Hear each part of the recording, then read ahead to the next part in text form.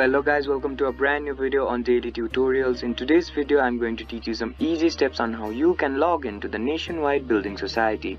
Before we start the video, don't forget to like, share and subscribe to the channel for more such useful tutorials. Without further ado, let's move on to the video. First of all, make sure that you're connected to the internet. Once you make sure that you're connected to the internet, open up a web browser. Now, once the web browser is open up on your screen, type in www.nation wide.co.uk and hit enter. After the home page of the Nationwide Building Society opens up on your screen, you'll see the login button which is located on the top right corner of your screen. Go ahead and put your mouse on it. Once, once you put your mouse over the login button, a menu will appear on your screen. On that menu, click on the login to internet bank option. After you click on the login to internet banking option, you'll be guided to another page. In this page, you'll have to fill in some credentials. You'll have to fill in your customer number here. You'll have to fill in your date of birth here and then click on the continue button.